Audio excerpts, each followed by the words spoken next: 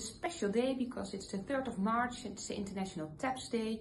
Um, and uh, we're happy to celebrate this day, but also what we'd like to do is ask more attention for screening for twin anemia polycythemia.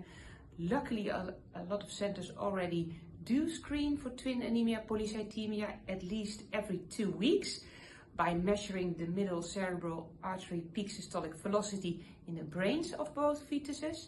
But it's important that all centers are aware, and this is an important uh, screening tool that every monochorionic twin should have because we know from the research that we, before, we performed that TAPS can occur throughout the whole pregnancy and that these children uh, are of an increased risk of um, well, impaired outcome for short and long term. So that's why we want to use this day to um, uh, increase awareness for uh, this disease.